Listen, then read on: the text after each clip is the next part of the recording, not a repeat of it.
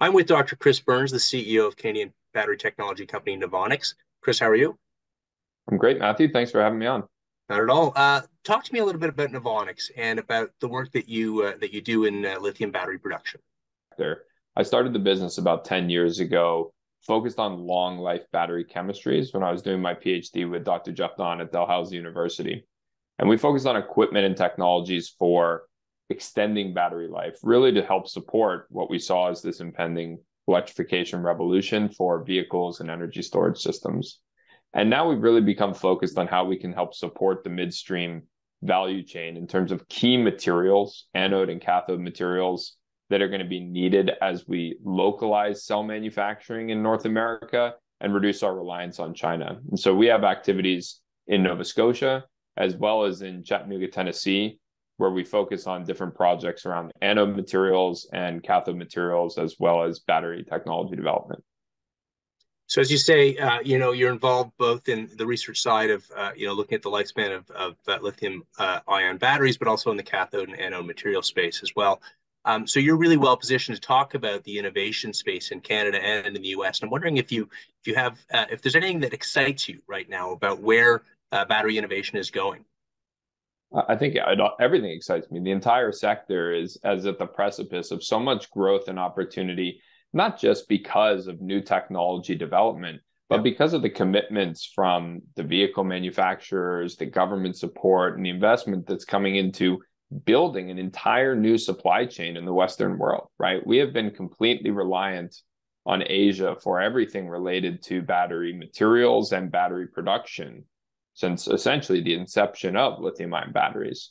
And so while we look at continuing to invent and innovate in new technologies that will be needed to make batteries better, longer lasting, faster charging, all of these things. I think the most exciting thing is that we're going to deploy such huge scale of this technology over the next five years in North America from essentially a non-existent base. So I wonder then, you know, just sticking with the theme of innovation, if there's anything that you think about that needs to happen uh, you know, maybe particularly in Canada, to help sort of catalyze and, and even reward battery innovation in this country? I think Canada has a really unique opportunity to play in this ecosystem. And we're starting to see more and more investment come to Canada now after, uh, of course, an initial huge investment wave of cell manufacturing into the United States. But we have such great uh, academic programs, research institutions, NRC, things like this that can support the innovation side. Yeah. And then we go all the way upstream to, of course, being a, a resource rich nation with key materials that are needed to support this sector. And so the really exciting opportunity for Canada is to, to bridge that gap and bring the innovation to the raw materials and become a, a significant midstream player in processing and upgrading value add to these minerals and not simply being uh, a source of resources for other countries or or locations to take advantage of that.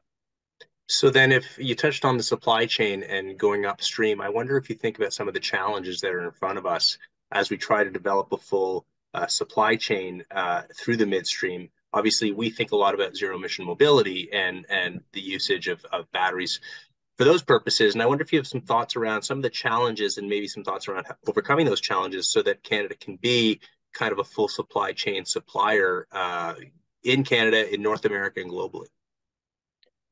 Absolutely, I think uh, you know this is not an easy road to be clear, and and e-mobility, vehicle fleet, and that transition is going to drive this sector for the next five years, and then we're going to start to see things like energy storage on the grid really become more prolific. But for now, everyone's focus, whether you're upstream, midstream, or downstream, however you want to define that, is on how to support uh, vehicle transition and, and primarily the passenger vehicle transition. And so I think the biggest challenge around all of that is the timing. We are trying to move an industry so quickly here in North America to build from from infancy to deploying you know uh, hundreds of gigawatt hours of battery production in the next few years and at the same time that means we need to be investing in midstream while there aren't existing customers downstream for them yet but it takes time to build the midstream plants and then we need to be investing in mining right and and extracting resources in in a sustainable way so that we can support the midstream sector. But the midstream sector doesn't exist yet. So one of the biggest challenges, and it's a role that the government needs to help support, and I think groups like Accelerate will play a significant role in this, is helping to align these investment timelines so we can try to bring an entire value chain online at the same time, not in stages. And of course, you know, Canada's not an island. We we exist within a, a continent. We've got, uh, you know, a, a cross-border situation uh, in terms of trade, in terms of our relationship with our with our friends uh, to the south, uh, that necessitates us thinking about a North American battery ecosystem and a North American uh, zero-emission vehicle uh, ecosystem. Um, is involved in Canada and in the U.S. in terms of your production. Uh, so you're probably uniquely uh, positioned, if, if, at least well positioned, to, to, think through what the future of a North American ecosystem can look like. And I wonder if you have some thoughts on, you know, your experience to date and, and where this can go. Absolutely. So we started our involvement in the US in about 2017 when we set up our anode materials division, specifically focused on innovative technology for making synthetic graphite, which is right. the best long life anode material to support you know vehicles and energy storage systems. And so over the past five or six years since we started that, we have our development and pilot center. We're building out our first mass production site. We were just selected for $150 million of funding from the infrastructure law package. We're applying for funding from the loan program office, all to build, you know, more production to support mm-hmm. this huge growth. And I think that the opportunity set that the United States presents North America as a whole, including Canada, is really to Canada's benefit because we need a larger market to pursue. And the fact that that larger market is right across the border is an excellent opportunity. And again, it goes back to how to ensure that Canada can maintain value in country of upgrading materials to support not just the development that will happen in the cell manufacturing and the vehicle manufacturing that will happen in Canada, but how we can export high value goods, you know, to our friends in the United States. But one of the challenges is that as we've seen these investment waves and you see the amount of capital that the US government is putting to work, for example, for us looking at a plant, we we have the option of a $150 million grant potentially toward that next site. I mean, that's a huge amount of capital deployment, which swings our favor into needing to build that next site in the United States, while there are a lot of opportunities for us to look at building sites in Canada as well. Um, so if you think about five, ten years out, where does your mind go? So I think you know not to not to say that innovation is not going to be significant. I think people need to be realistic about how different a battery chemistry will look in five years. You know, five right. years is not actually that long of a period of time uh, in this type of development cycle. When you look at the first lithium-ion battery from 1991, it was a lithium cobalt oxide cathode and a carbon-based anode. And today, most batteries look pretty similar to that, right? Right. 30 odd years later. So I think that in the in the five year horizon, the ecosystem is going to look like building the chemistries of today, the materials of today, and everyone trying to reach that scale point to support the cell manufacturers who are coming to North America, you know, primarily to support the auto manufacturers and bringing plants online in 2025, 2026.